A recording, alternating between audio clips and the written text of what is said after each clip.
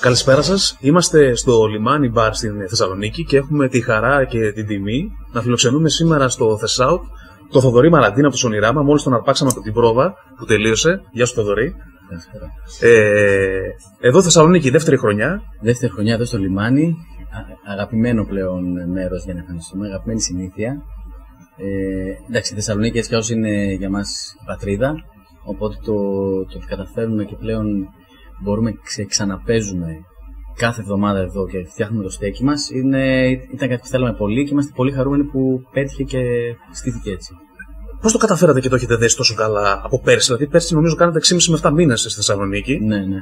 Και φέτος πάλι στο ίδιο μαγαζί. Δηλαδή, έδεσε η παρέα, έδεσε το μαγαζί, έδεσε ο κόσμος. Νομίζω είναι λίγο όλα τα, τα συστατικά που πετυχαίνει μια συνταγή. Δηλαδή, είναι λίγο το μαγαζί, λίγο η κατάσταση, λίγο η δική μας νομίζω ενέργεια και το στυλ που ταιριάζει σε τέτοιους χώρους, καθώς από αυτούς ξεκινήσαμε. Και είναι ωραίο όταν επιστρέψει νομίζω στη Ρίζους κάποια στιγμή. Ε, είναι κάτι που το θέλαμε πολύ εμείς έτσι κι αλλιώς, ε, μετά από αυτή τη βόλτα που κάναμε σε όλα. Οπότε νομίζω ότι ήταν η κατάλληλη στιγμή, το κατάλληλο μέρος και η κατάλληλη δική μας ανάγκη να εκφραστούμε σε ένα τέτοιο χώρο. Ε, εδώ πέρα και με, το, με τον Αντώνη Πεκανάκη, ο οποίος ηγείται ας πούμε, του χώρου, έχουμε καλή χημεία και με το κοινό που έχει αυτός και με το κοινό που έχουμε εμείς. Οπότε νομίζω ότι ήταν μοιραίο πλέον αυτό να γίνει στέκει και έτσι έγινε. Ε, είσαι πιο πολύ χειμερινός τύπος στο θέμα των live ή πιο πολύ καλοκαιρινός; Δηλαδή το καλοκαίρι κάνετε 5.500 χιλιόμετρα σε όλη την Ελλάδα, γυρίσατε όλη την Ελλάδα. Πιο πολύ σε εκφράζει. Κοίτα, δεν νομίζω ότι έχω να σου πω να είναι κάτι πολύ συγκεκριμένο. Το καλοκαίρι πάντα στην Ελλάδα είναι κάτι πολύ ωραίο. Ναι. Και είναι ωραίο να το βιώνεις. Σε αυτή τη δουλειά είναι ωραίο γιατί το βιώνεις κάνοντας ταξίδια σε όλη την Ελλάδα. Οπότε βιώνεις και τη μαγεία αυτής της χώρας το καλοκαίρι. Πάντα πολύ όμορφο. Και υπάρχει καλή διάθεση πάντα, όρεξη για χορό, για τραγούδι. Ε, από την άλλη, το, το χειμερινό live σου δίνει τη δυνατότητα του, του να δημιουργήσει ένα στέκι. Ναι. Παρέες κάθε εβδομάδα, έρχονται πάρα πολλές παρέες σχεδόν κάθε εβδομάδα. Δηλαδή, έχουμε ήδη γνωριστεί. Ε, δημιουργήσει μια άλλη σχέση με το κοινό. Όταν υπάρχει ένα σταθερό, επανα, επαναλαμβανόμενο live. Οπότε και τα δύο έχουν την ομορφιά τους. Και τα δύο μου αρέσουν πολύ. Έχετε σκοπό να ξεκινήσετε και Αθήνα. Ναι. Ξεκινάμε αρχές Δεκέμβρη στην Αθήνα, σε ένα χώρο ίδιας περί φιλοσοφίας, γιατί αυτό θέλουμε να κάνουμε φέτος. Ε, λέγεται Καμπαρέ. Ε, ανυπομονούμε και εκεί, γιατί και εκεί έχουμε πλέον τους φίλους μας που έχουμε καιρό να τους δούμε στην Αθήνα. Οπότε θεωρώ ότι κάτι αντίστοιχο θα γίνει και εκεί. Δύο, δύο ημέρες στην Αθήνα, πώς θα είστε; Με δύο ξεκινάμε και βλέπουμε. Μπορεί να προκύψει και τρίτη. Είναι ένας ε, πολύ όμορφος χώρος στο Κολονάκι. Ε, το έχουμε κάνει μια τεράστια ανακαίνιση το μαγαζί. Το φτιάχνουμε, το σκηνοθετούμε έτσι πολύ όμορφα και το πώ θα είναι το stage αλλά και όλη την παράσταση. Ε, θα είναι κάτι λίγο διαφορετικό από ό,τι έχουμε κάνει, παρόλο που θα διατηρήσει τη φιλοσοφία της διασκέδασης και της ε, ακομπλεξάρτητης προσέγγισης ε, του live. Οπότε είναι κάτι, κάτι πολύ όμορφο. Το περιμένουμε πώς και πώς. Το καινούργιο τραγούδι, το Μια Βόλτα, βγήκε και πρόσφατα στο ναι, βίντεο ναι, κλιπ. Ναι, ναι, ναι, πολύ λίγες ημέρες. Πες μου λίγο για το σενάριο του βίντεο κλιπ, γιατί το είδα κι εγώ, αλλά είναι, είναι ένα Κοίταξε, ιδιαίτερο βίντεο κλιπ. Το οποίο. Το, το, τρα- είναι ιδιαίτερο. Προσπαθήσαμε να.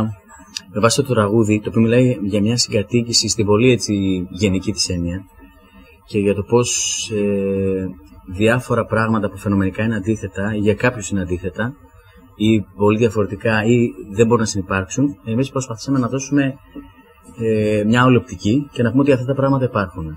Ε, προσπαθήσαμε να δείξουμε ότι φεύγουμε από το εγώ, πάμε στο εμείς και με, μαζί με τη βοήθεια του Άρη του Ξυλά, του σκηνοθέτη που και αυτός είχε μια τέτοια λογική, κάναμε ένα βίντεο κλιπ που δείχνει πώς μπορούμε λίγο να έρθουμε πιο κοντά ένα στον άλλον, να μην κολλήσουμε σε κάποιες ταμπέλες που η κοινωνία έχει βάλει τόσο καιρό, πώς η αγάπη μπορεί να ξεπεράσει τα όρια της.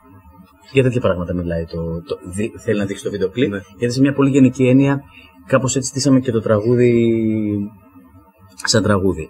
Παρόλο που το τραγούδι αφορά στη σειρά του Μέγκα που θα βγει τώρα το σπίτι της Έμα, Ναι. αλλά η κατεύθυνση ήταν εκεί, γι' αυτό σου λέω το έχουμε γενικεύσει. Εκεί μιλά- μιλάει για μια συγκατοίκη- συγκατοίκηση με συγκεκριμένους ανθρώπους που βιώνουν διάφορες καταστάσεις στην καθημερινότητά τους. Εμείς αυτό λίγο το γενικεύσαμε και προσπαθούσαμε να το κάνουμε λίγο πιο κοινωνικά ευρύ. Ναι, σωστά. Ε, Εκτός από το βίντεο κλιπ, μαθαίνω ότι θα έχουμε και χριστουγεννιάτικο τραγούδι. Ναι. Φέτος είναι, είναι κάτι που το περιμέναμε πώς και πώς, ειδικά εγώ. Ε, έχουμε γράψει ένα τραγούδι χριστουγεννιάτικο, αλλά λίγο διαφορετικό. Δηλαδή, Δεν έχετε ξανακάνει κάτι τέτοιο; όχι, όχι, Ναι. κάτι τέτοιο όχι. Παρόλο που εμένα είναι από τις αγαπημένες μου στιγμές τα Χριστούγεννα. Ε, ήθελα να γράψω μια, ένα τραγούδι το οποίο μιλάει λίγο για την πιο εσωτερική πλευρά, ίσως λίγο όχι την τόσο χαρούμενη πλευρά των Χριστουγέννων και προσανατολίζεται λίγο στα παιδιά που θεωρώ ότι και είναι το μέλλον φυσικά και το παρόν και πρέπει μέσα από τη δική τους οπτική να αρχίσουμε να βλέπουμε και μέσα τα πράγματα γιατί λίγο το έχουμε χάσει. Ε, έτσι είναι στημένο το κομμάτι. Ε, Φαντάζομαι θα είναι κάποια μπαλάντα δηλαδή. Είναι ναι, ένα κομμάτι που είναι σχετικά λίγο πιο ατμοσφαιρικό. Ναι. Ε, συμμετέχει και η παιδική χοροδία, χοροδία της Ροζάρτε. Μια πολύ καλή χοροδία με πολλές και παγκόσμιες διακρίσεις και τους ευχαριστούμε πολύ γι' αυτό. Είναι ένα κομμάτι που ανυπομονώ πάρα πολύ να το παρουσιάσουμε. Ε, Πες μου κάτι, επειδή το, μια βόλτα, αν θυμάμαι καλά, το έχει γράψει εσύ, έχεις γράψει εσύ τη μουσική. μουσική ναι. Πώς εμπνέεσαι στο να γράψεις μουσική, Δηλαδή, είναι αυτό που λέμε, είναι, σου έρχεται μια έμπνευση ε, τη στιγμής ή θες την ησυχία σου για να γράψεις. Πώς εμπνέεσαι για αυτή Η τη μουσική; ησυχία είναι, λίγο, είναι μια εσωτερική διαδικασία για μένα, αρκετά προσωπική. Οπότε η αλήθεια είναι ότι όταν είναι να γράψω, ε, απομονω, απομονώνομαι πολύ. Και προτιμώ δηλαδή να είμαι σε ένα χώρο κάπου μόνος μου, έχοντας ένα ερέθισμα. Δηλαδή, υπάρχουν φορές, πολλές φορές που ένα τραγούδι έχει έτσι ως μια κατεύθυνση, όπως τότε. Μας πήραν και μας είπαν θέλουμε ένα τραγούδι για αυτή τη σειρά. Ναι. Μας δώσαν κάποιες κατευθύνσεις και πάνω σε αυτές αρχίζει και στείνεις ένα τραγούδι και στοιχουργικά και μουσικά. Υπάρχουν άλλες φορές που είναι ένα συνέστημα το ερέθισμα δικό μου. Οπότε πά- μετά όλο αυτό βασίζεται πάνω σε αυτό το ερέθισμα. Είτε, αφορά, είτε ξεκινά ο στίχος πρώτος είτε η μουσική. Γιατί καμιά φορά γίνεται το ένα, καμιά φορά το άλλο. Ε, Άλλες φορές είναι η μουσική συνύπαρξη με κάποιους ανθρώπους που γεννά ιδέες.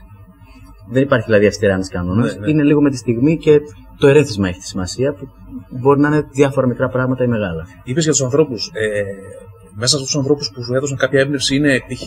η ελπίδα που είδαμε και στο ότι θα, είναι, θα Αυτό, συμμετέχει. αυτό να σου πω την αλήθεια λειτουργήσε λίγο ανάποδα. Δηλαδή, μόλις ε, έγραψα το τραγούδι, για κάποιο λόγο είναι, μου ήρθε κατευθείαν στο μυαλό η δική της συμμετοχή, η δική της φωνή. Πίστευα ότι θα ταιριάξει πολύ. Και έτσι με λίγο θάρρος, χωρίς να την γνωρίζω πολύ καλά, είχαμε μιλήσει κάποια φορά στο τηλέφωνο για, κάποιο, για κάτι άλλο. Την κάλεσα και της είπα ότι έχουμε αυτή την ιδέα. Δεν είναι ένα ντουέτο, αλλά θεωρώ ότι θα μπορούσε να γίνει μια πολύ έτσι, γλυκιά συμμετοχή. Της ε, έστειλα το τραγούδι, της άρεσε πάρα πολύ και με πολύ μεγάλη χαρά ήρθε στο στούντιο. Δοκιμάσαμε πράγματα. Είναι ένας πολύ όμορφος άνθρωπος, πέρα από μια καταπληκτική φωνή. Και χάρηκα πολύ τελικά που έγινε και αισθάνομαι και πολύ περήφανος για το αποτέλεσμα. Ε, το ίδιο και με τον, ε, με τον κύριο Καρονάκη. Εντάξει, ο Σταμάτης Κορονάκη είναι μια άλλη περίπτωση ενός υπερ, υπερταλαντούχου ανθρώπου, όπως τον λέω και εγώ, ένα αστέρι.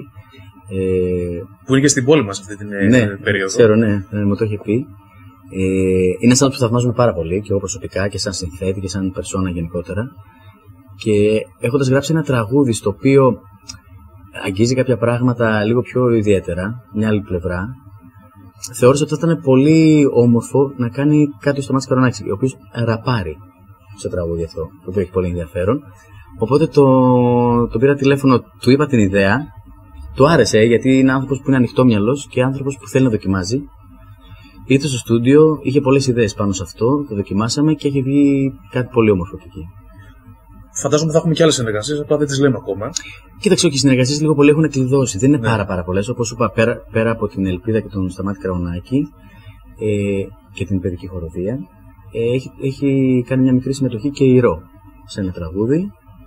Ε, και η Άννα Παναγιωτοπούλου που αφηγείται κάποια στιγμή ένα μικρό κομμάτι Μάλιστα. εισαγωγικό σε ένα τραγούδι. Αυτά. Ε, άρα αυτός είναι και ο τρόπος, γιατί ήταν και η επόμενη μου ερώτηση, να εξελίσσετε τη μουσική σας. Γιατί ε, έχετε περάσει, είστε πάνω από 10 χρόνια συγκρότημα, Ναι. έτσι. Μμμ. Κοίταξε, οι, συ- οι συνεργασίες κατά με είναι πάντα κάτι πολύ όμορφο, κάτι πολύ δημιουργικό όταν γίνουν σωστά και γίνουν γιατί έχουν νόημα και όχι επειδή πρέπει να γίνουν. Και πάντα έτσι επιλέγουμε τι συνεργασίες μας. Ε, και σίγουρα νομίζω βοηθούν στο να εξελιχθεί κάτι. Γιατί πάντα από ένα καλλιτέχνη, ιδίως όταν είναι τόσο μεγάλη καλλιτέχνης που έχουν συνεργαστεί, έχεις να πάρεις κάτι.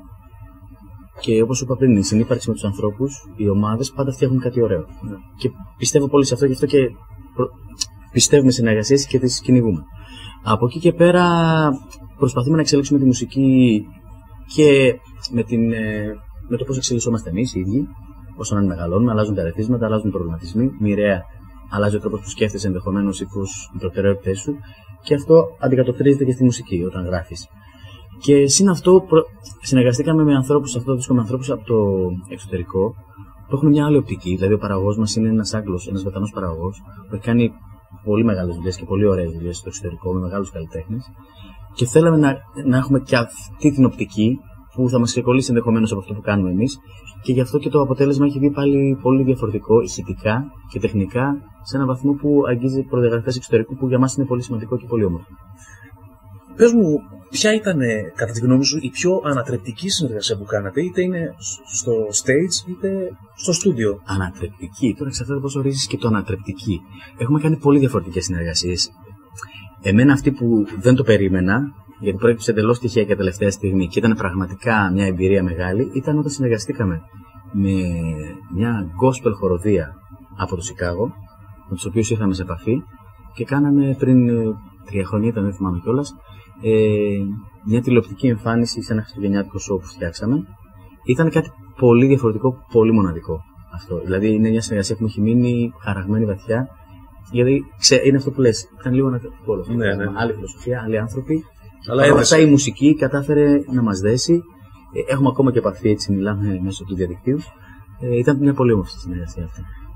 Όσο αφορά τις συναυλίες καλοκαιρινές, γιατί αυτό είναι ένα κομμάτι το οποίο όλοι το αγαπάμε. Μμμ. Εμείς εδώ στη Θεσσαλονίκη σκεφτόμαστε και λίγο τη Χαλκιδική παραπάνω, το ξέρεις πολύ καλά. Σαν Χαλκιδική δεν είναι. Ε, Τα ναι. έχουμε πει αυτά. Ε, ένα μέρος θέλω να μου πεις που παίξατε όλα αυτά τα χρόνια και το οποίο ή έδεσε τόσο πολύ χημεία μεταξύ του κόσμου και εσάς, που πήγε τόσο καλά που δεν θέλατε να κατεβείτε. Ή... Κοίτα, Ειδικά φέτος Ναι. είχαμε δύο-τρία σημεία που ήταν όπως ακριβώς τα περιέγραψες. Δηλαδή ήταν τέτοια η αποδοχή που δεν, ε, δεν σταματούσε. Φαντάσου ότι στο ένα μέρος ήρθε και αστυνομία και συνεχίσαμε. Εγώ συνέχισα με την κιθάρα και έπαιζα. Ήταν η αστυνομία κάτω και εμείς παίζαμε ακόμα. Ήταν στη Σκιάθο, σε μια καταπληκτική βραδιά, με πολύ κέφι και νομίζω είναι από τις καλύτερες συναυλίε που έχω κάνει ποτέ. Όπως και στα Χανιά, μια άλλη που ήταν. ε, Καταρχήν είχε ξέρω, 3-4 χιλιάδες κόσμος, ήταν πάρα πολύ ο κόσμος που είχε. Και δεν θέλαμε να σταματήσουμε. Αυτό που το πες, δεν θέλαμε να κατεβούμε. Ήταν όλο αυτό, η ενέργεια πήγαινε και ερχόταν τόσο πολύ και συνέχεια που νόμιζα ότι παίζει 5 λεπτά. Φέτος δηλαδή είχαμε και άλλες τέτοιε στιγμέ. Κρατάω τις δύο πιο δυνατές. Και χαιρόμαστε που μετά από τόσο καιρό συνεχίζουμε να λαμβάνουμε τόση αγάπη και τόσο, τόσο ζεστασιά από το κοινό. Είναι πολύ σημαντικό. Πολύ, πολύ. Για να κλείσουμε, πες μας, ε, πότε αναμένετε να βγει το, το album το καινούριο; Το album περίπου; μάλλον θα κυκλοφορήσει αρχές του επόμενου χρόνου. Ναι. Ε, γιατί θέλει λίγο ακόμα για να ολοκληρωθεί. Όπως είπα, μέσα στις επόμενες μέρες θα κυκλοφορήσει το χριστουγεννιάτικο μας τραγούδι. Ε, Κυκλοφόρησε όπως είπαμε το, το Κυκλοφόρησε το μυαλό, αλλά βιβλίο. ήδη λόγω της ε, σειράς. Γενικώ θα, ε, θα έχετε πράγματα από εμάς. Ξεκινάμε τις εμφανίσεις και στην Αθήνα. Είμαστε σε μια πολύ καλή φάση. νομίζω. Τέλεια. Ε, εύχομαι καλή επιτυχία. Ευχαριστώ πάρα πολύ. Όσοι για ό,τι Είστε και να καλά. κάνετε και αυτά. Εδώ, να τα ξαναπούμε.